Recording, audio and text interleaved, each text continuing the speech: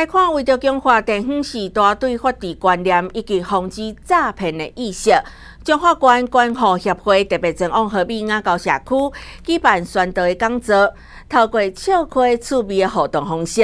加强社区的时代对法治的观念。中华关关护协会为了强化民众的防治观念，甲防范被诈骗的意识，十二号上午特别前往河滨雅高社区举办讲座活动，吸引妈妈老宝贝来上课。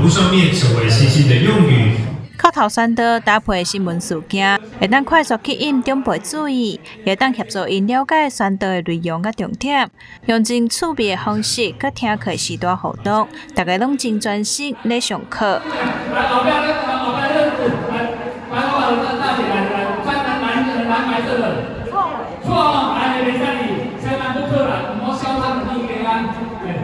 那我们关护协会里面，长期并不是在整个那个针对一些飞行少年来做一个关怀访视的对象了。但是发觉说，青少年他们的成长过程里面，家庭它占的是非常重要的一个程度啊。那如果说，比如他经济出现状况的话，真的直接就影响到整个全全家庭的一个和谐，